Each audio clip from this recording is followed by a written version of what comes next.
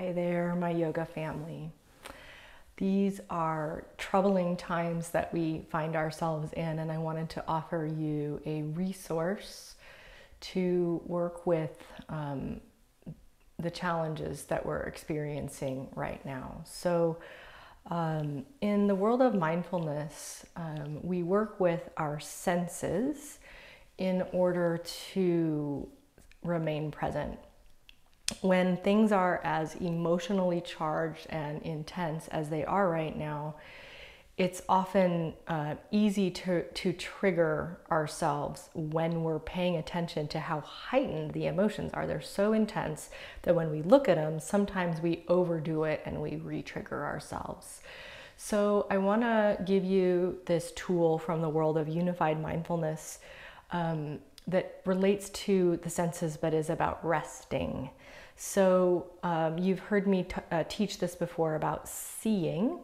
So, we can use our sense of sight to be present with our environment. So, you can look out at the world and notice something in your environment. But for this technique, this restful technique, instead of actually looking with intensity at something, what we do instead is work with the quality of resting the eyes. So here's what I mean. Right now, with your eyes open, soften your physical eyes, like all around your eyes, your forehead, your brow, let your eyes almost close. And then notice the quality of light, the general state and quality of light where you find yourself.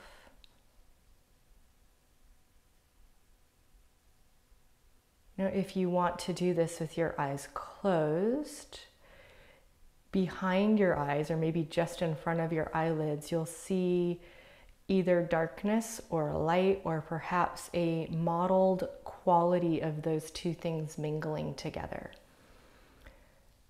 So instead of looking for or at something, see restfully. Rest your physical eyes and notice either the quality of light around you, the ambient light in the room or space where you are.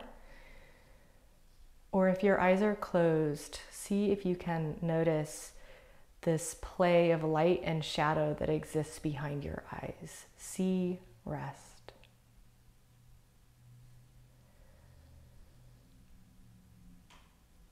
And if your eyes are closed, just begin to open them again. I hope that this tool can help you to stay here. I mean, this is the greatest accomplishment is to just show up, to just wake up today and and be here. It's very intense. But maybe this will give you a way to be here and not be quite so overwhelmed.